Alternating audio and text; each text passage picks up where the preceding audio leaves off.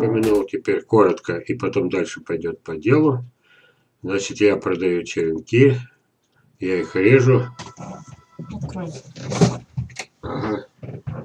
Это, девчонки пришли голодные.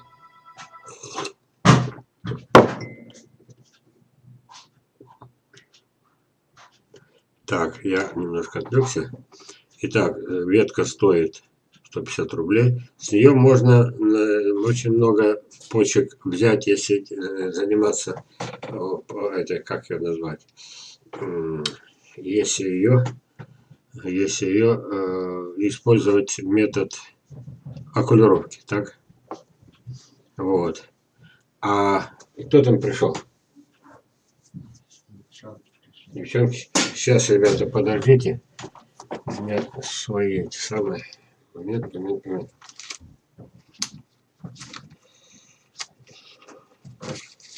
Да, дай и это самое, это самое. Ну так, яблочек еще дай.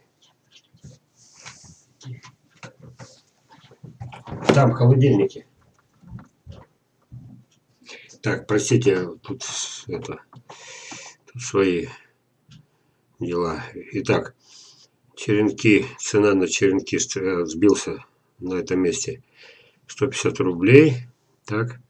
Ветка длиной до полуметра. На ней, если почками, несколько десяток привод. Если по железову, нижней части 2-3. Но если абрикосы, то можно и четвертый, и пятый вот такой фрагмент взять. На улучшенную капулировку или чтобы делать эти прививки врачей, потому что я не одобряю прививку почки. Значит, почему дорого? Вам кажется, что дорого? Кто-то же за 170 рублей может вам привитый продать. Вот. Ну, еще раз говорю, то, что есть у меня, нет на всей планете. Так, и я уничтожаю часть сада, и это происходит. Возьми спокойно, да. Вот.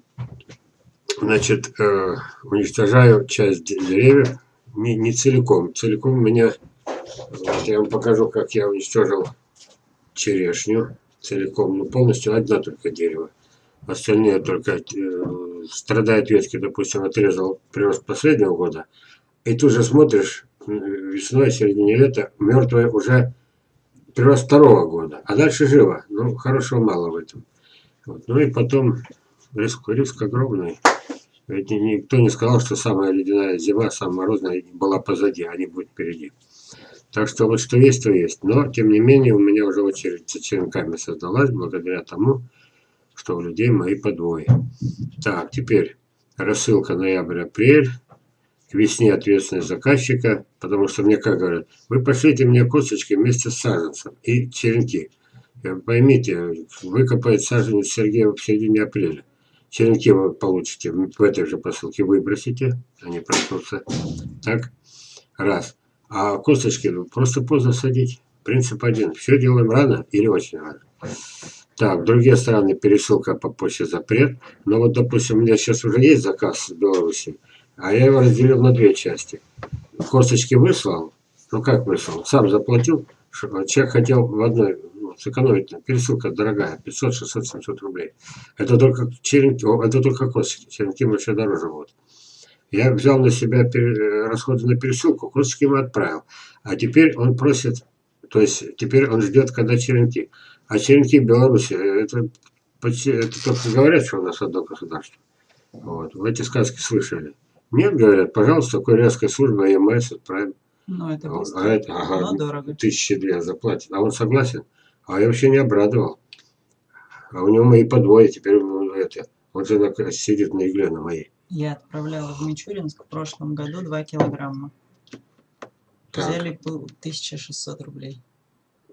Да ты что, зато, Мичуринск рядом? Зато отдали в руки человеку. А, так все-таки это... Да, курьерская, курьерская. доставка. Ну, да, это нормально. Ну, значит, Беларусь еще, еще труднее, еще больше будет.